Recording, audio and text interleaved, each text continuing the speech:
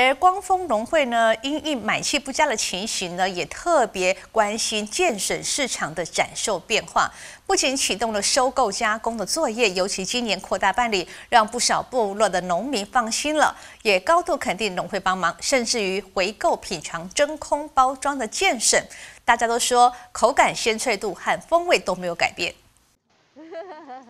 部落剑笋农现采现剥，白嫩鲜脆的剑笋送进来后，光丰地区农会阿样谷谷谷场人员先以清水清洗挑选，分级统一重量后，加入特制的保鲜水杀菌，以专利真空包装袋来包装，高温杀青，锁住剑笋的原味。建竹笋基本上哈，它分前中后啊哈，所以每一年我们农会哈，在价格在中期的时候，价格稍微偏低的时候，我们农会就会来做建竹笋的。加工啊哈，正值建笋大出的时刻，量多价格趋于正常。不过农民却反映买气不佳。光丰地区农会为此不仅即刻启动建笋收购加工作业，尤其今年度更是扩大办理，让部落建笋农放心了不少。而加这个加工呢，是我们通过改良厂的呃技术啊哈，它可以加工以后可以保存一年呐哈啊，以舒缓在建竹笋哈产期集中量产的时候的这个压力，希望能够平衡市场，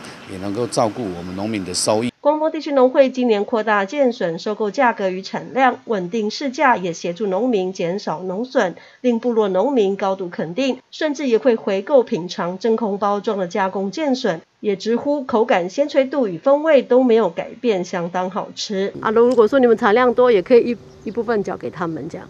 对啊，对啊，对，我们都我们大概一天卖多少，我们自己知道啊。然后啊，这里的话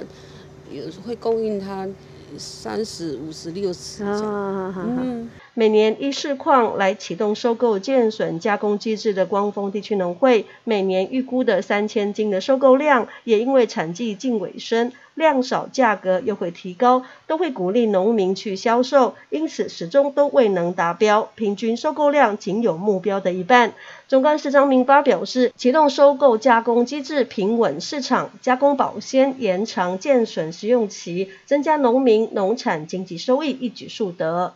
记者史玉兰光复采访报道。